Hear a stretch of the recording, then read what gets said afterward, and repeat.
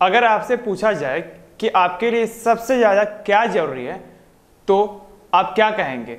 आप कहेंगे जॉब घर, गाड़ी, कपड़ा, शायद कुछ ऐसा ही कहेंगे। लेकिन मैं कहूँ, यह सब बेमतलब की बात है तो आप क्या कहेंगे? चलिए, मैं आपको इस दुनिया की सबसे बड़ी ज़रूरत के बारे में बताता हूँ, और वह सबसे बड़ी ज़रूरत है रुपया। आपने यह कहावत तो सुना होगा कि बाप बड़ा ना भैया, सबसे बड़ा रुपया। सभी को मेरा प्रणाम। सोशल टीवी के खास शो, डेली स्टोरी में मैं अरुणेंद्र, आप सभी का स्वागत करता हूँ। आज मैं रुपया के बारे में क्यों बात कर रहा हूँ, इसका एक कारण है। दरअसल, इन दिनों पूर्णिया के एसीपी दयाशंकर के घर में स्पेशल विजिलेंस यूनिट की टीम का छापा पड़ा।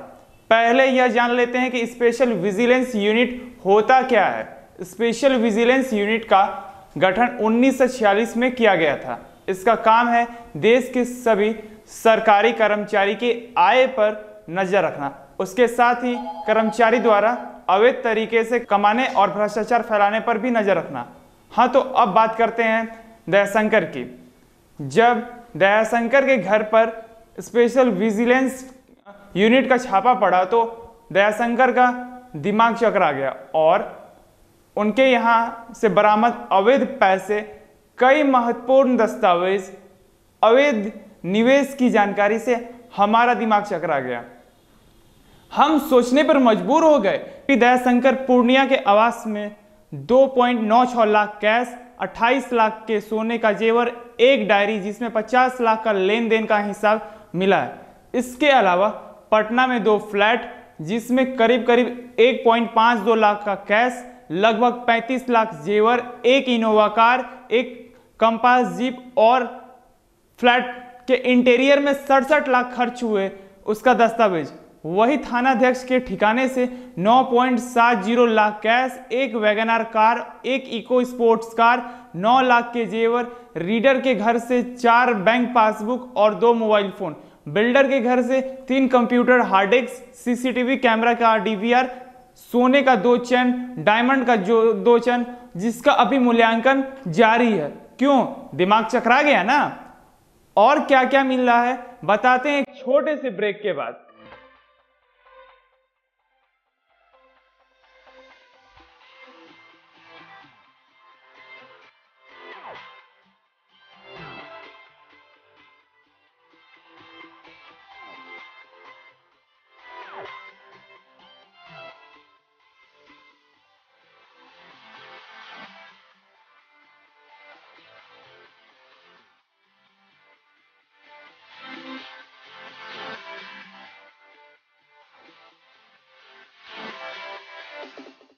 आपने यह तो जान लिया कि दयाशंकर के घर से क्या क्या मिला है। अब आपको बताते हैं कि इसमें कौन कौन शामिल है, क्योंकि इतना पैसा अकेले कमाना थोड़ा मुश्किल है।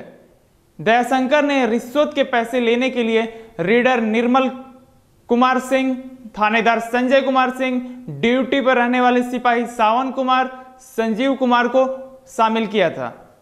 मामले को लेकर स्पेशल विजिलेंस की यूनिट के एडीजी हसनैन खान ने बताया कि छापेमारी में काफ़ी बेनामी संपत्ति का उजागर हुई है और दयाशंकर ने काफ़ी पैसे रियल एस्टेट के कारोबार में लगा रखा है। दयाशंकर ने अपने साथ साथ अपनी पत्नी, बिल्डर संजीव और अन्य लोगों के नाम पर भी कई ज़मीन और फ्लैट लेकर रखा। इसके साथ साथ अवैध तौर पर कमाई के पैसे लाने और ले जाने के लिए निजी वाहन, स्टाफ बॉडीगार्ड सरकारी वाहन का इस्तेमाल करता था। जाँच में यह भी खुलासा हुआ है कि दयाशंकर ने अपने अलावे अपने रिश्तेदार के नाम से भी बेनामी संपत्ति बनाए, बनाया हुआ है।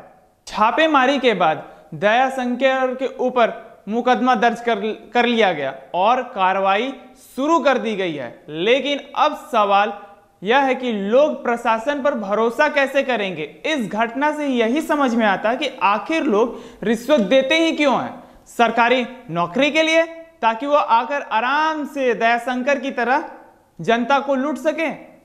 अगर यह हालत रहा तो ना जाने आने वाले समय में और क्या क्या होगा और क्या क्या देखने को मिलेगा। आज आप लोगों से एक सवाल पूछता हूँ। क्या आपके लिए पैसा ही सब कुछ है? अगर हाँ तो क्यों है और नहीं तो क्यों नहीं? आज के लिए बस इतने ही। मुझे दीजिए इजाज़त, फिर मुलाकात होगी। तब तक के लिए सोशल टीवी को देखते रहिए। प्रणाम, धन्यवाद।